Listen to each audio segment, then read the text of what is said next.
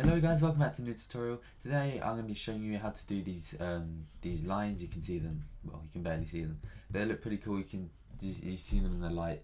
You got the horizontal ones, you got the vertical ones, and yeah, we've got the circle ones here as well, just to show you guys you can do any shape you want. Um, so yeah, you can see these in a lot of designs, maybe not so common anymore, but they used to be used a lot and they do look pretty cool on advertisements or anything like that. So you can see these lines here and I'm going to show you how to make them. So basically all you're going to need to do is you're going to make a new a new project, file new, make sure the background's content is transparent and we're going to do the width to be 2, no we're going to do the width to be 1 and the height to be 2 for the first one because we're going to make the vertical one. Okay, then you want to zoom right in, you press Control and 0 to zoom straight to the to the um, to the artboard that you've got and then you want to go to your shape tool and go to rectangle and just do the top half and put it make it black. So you, yeah so you just there's two pix it's two pixels tall and you want to make the top pixel um, just a black square. And yeah so now we've done that we can use the selection tool. You can press M on the keyboard or you can just select it. Okay now you've done that you want to go to edit and define pattern and you can call it whatever you want doesn't really matter just press ok and now we want to go back into here. We've got our light up it's just we've got just a regular brush a white brush. And uh, let me put these all in a folder. Okay. And hide that. Okay. So now we just want to make a new a new layer which is right here. You want to fill it with any color doesn't matter it can be white. You want to turn the fill down to zero. And now you want to double click on it. You want to go to pattern overlay and just select the one we just made. And there we go. We have these we have these uh, horizontal lines going across and yeah. So that's how you make the horizontal one. Now let me show you how to make the vertical one.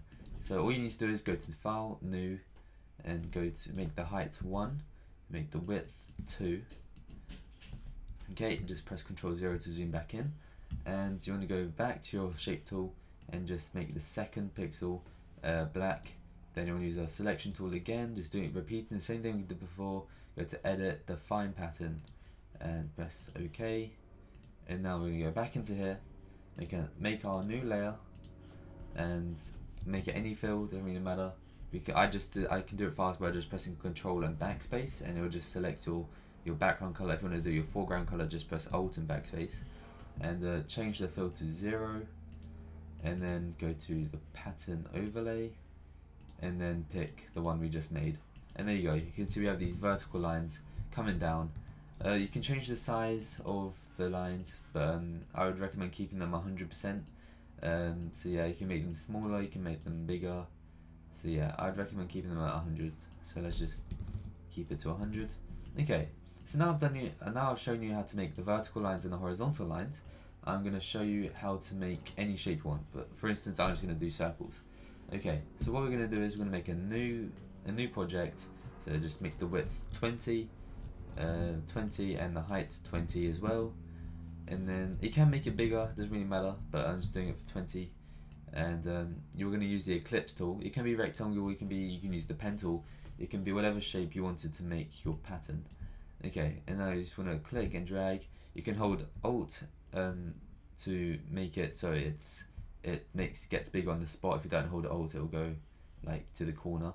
If you hold alt, it just goes to the center, and then hold shift to make it keep uh, the dimensions.